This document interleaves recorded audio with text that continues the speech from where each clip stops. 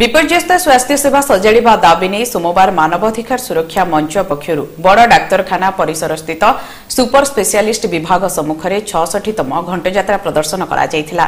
Super specialist ବିଭାଗକୁ କାର୍ଯ୍ୟକ୍ଷମ କରିବା ସ୍ୱତନ୍ତ୍ର ଜେରିଆଟ୍ରିକ୍ ବିଭାଗ ଖୋଲିବା ଘରୋଇ ଔଷଧ ଦୋକାନରୁ ପନ୍ଦର ପ୍ରତିଶତ ରିହାତି ବ୍ୟବସ୍ଥା କରିବା ଏବଂ ବଡ଼ ଡାକ୍ତରଖାନାରୁ ଦଲାଲ ମୁକ୍ତ କରିବା ଆଦି ଦାବି ନେଇ ଘଣ୍ଟ ବଜାଇ ଏପରି ବିକ୍ଷୋଭ ପ୍ରଦର୍ଶନ କରାଯିବା ସହ ଏକ ସ୍ମାରକପତ୍ର ବଡ଼ ଡାକ୍ତରଖାନା ଅଧୀକ୍ଷକଙ୍କୁ ସ୍ୱାସ୍ଥ୍ୟ ମନ୍ତ୍ରୀଙ୍କ ଉଦ୍ଦେଶ୍ୟରେ ପ୍ରଦାନ କରାଯାଇଥିଲା। ଏହି ଅବସରରେ ସଂଯୋଜକ ଅବନୀ କୁମାର ଗୟା ଆର୍ ସତ୍ୟନାରାୟଣ ରାଓ ମାଗୁଣୀ ନାହାକ ମହେଶ୍ୱର ବାଡ଼ତିଆ ଲକ୍ଷ୍ମୀନାରାୟଣ ରାଉତ ପ୍ରଭାତ ନାହାକ ବଂଶୀଧର ଭୂୟାଁ ରଜନୀକାନ୍ତ ବକ୍ସି ଶିବଶଙ୍କର ପାତ୍ର ରାଜେନ୍ଦ୍ର ଦଳବେହେରା ନୀଳାଞ୍ଚଳ ନନ୍ଦ ରାଜେନ୍ଦ୍ର ପଣ୍ଡା ପ୍ରମୁଖ ଉପସ୍ଥିତ ଥିଲେ।